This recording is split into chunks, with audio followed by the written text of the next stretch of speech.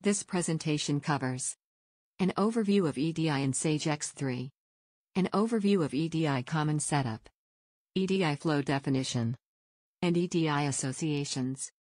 Electronic Data Interchange, EDI, is a computer to computer exchange of business documents in a standard electronic format between business partners.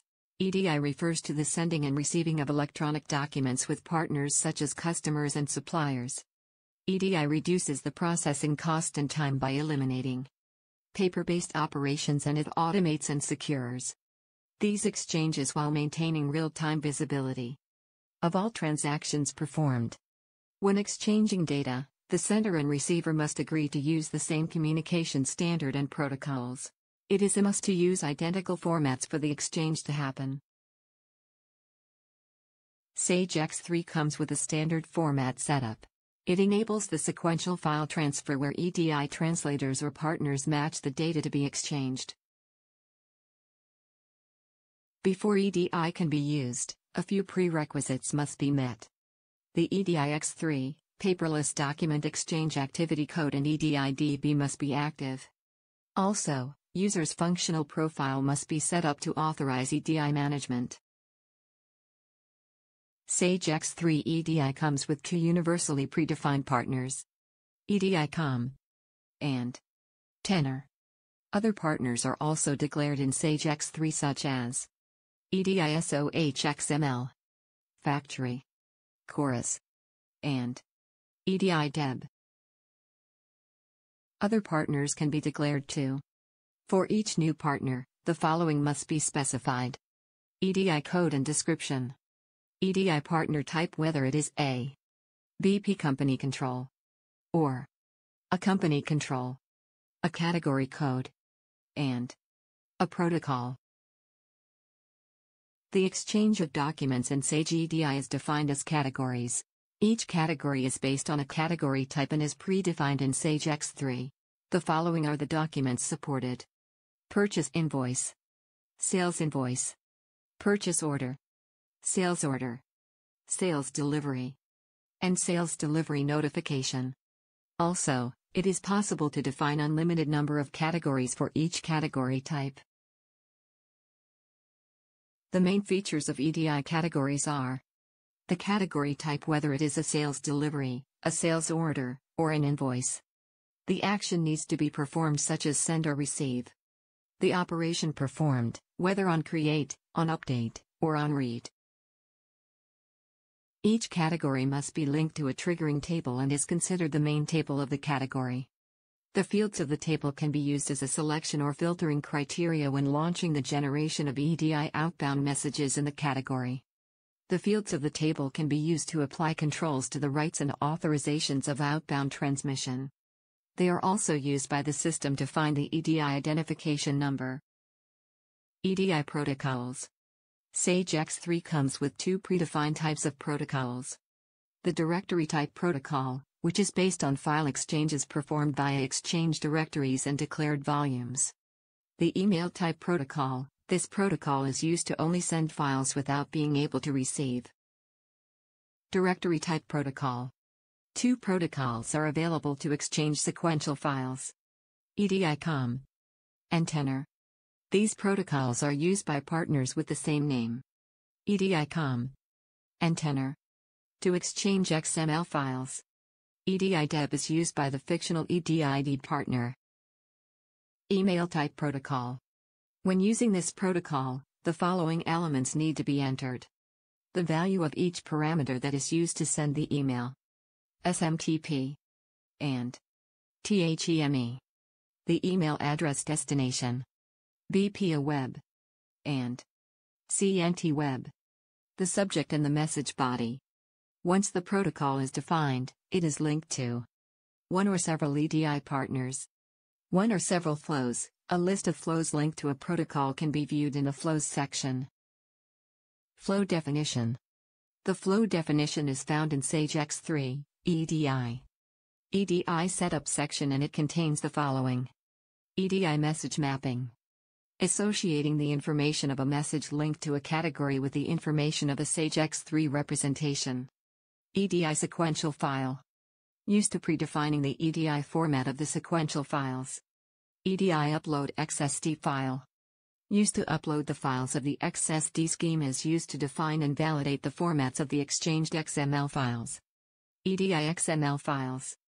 This uses the XSD structure to predefine the EDI format used for the XML files to be sent and received. EDI flow.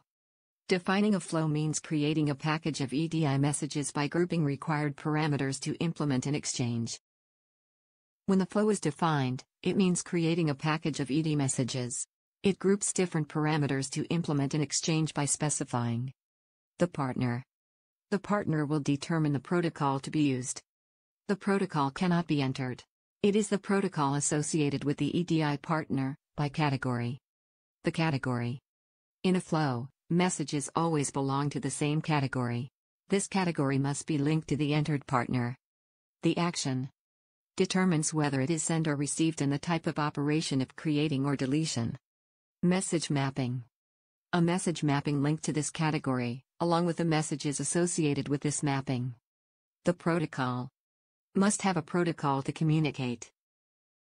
Association is used to link Sage X3 companies, sites, and BP by identification number for each EDI partner. An EDI partner must be granted authorizations in order to perform exchanges with companies, sites, and BP. These authorizations are called associations. The associations are by company, by site, by BP. Once established, the flows linked to this partner for a given association of BP, companies, are displayed on the Flows tab. This video shows how to associate an EDI partner with a Sage X3 company. In this video, I'm going to show you how to associate a company declared in Sage X3 with an EDI partner.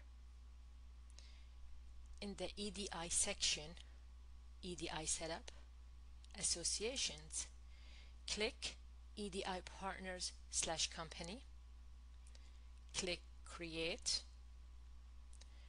In the company field, enter the company code you want to use and then select the EDI partner. To establish this association, you need to first specify the identification type you want to use. Then assign an EDI identification number to this association. This number can be entered freely. You can also specify that this number must be one of the identification numbers of the company. It could be the fiscal code or it could be the DUNS number, Data Universal Numbering System. If the DUNS number is selected, it can be entered on this screen. Finally, enter the EDI code which identifies the company receiving and sending out documents. This identification authorizes the company to perform EDI exchanges with this EDI partner. Once the information is entered, click Save to create the new record.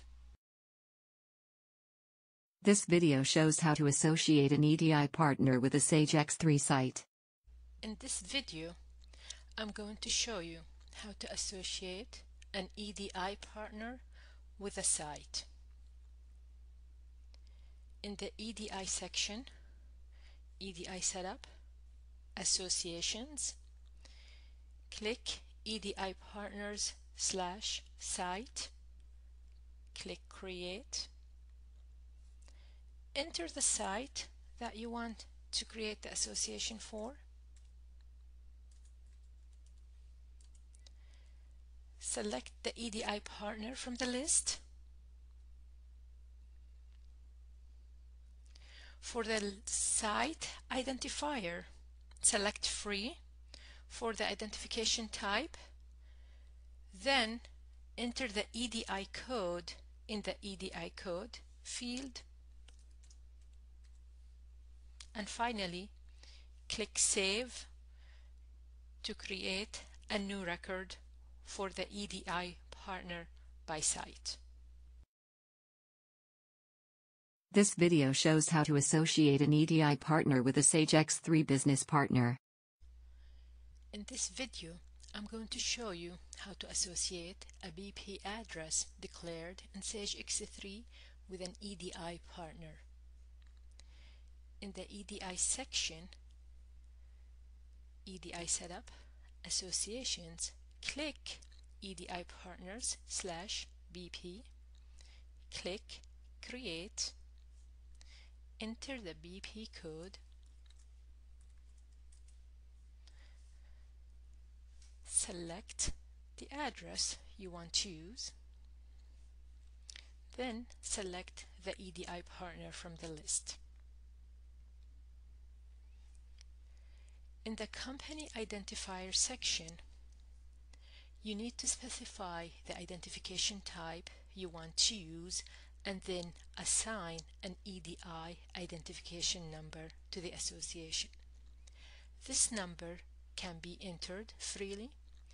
You can also specify that this number must be one of the identification numbers of the BP. It could be the fiscal code, it could be the local code, the Data Universal Numbering System code or the GLN code, the Global Location Number. This identification is necessary to authorize the BP address to be used for the EDI exchange with the EDI partner. In addition, you can enter an EDI identification code provided by the partner.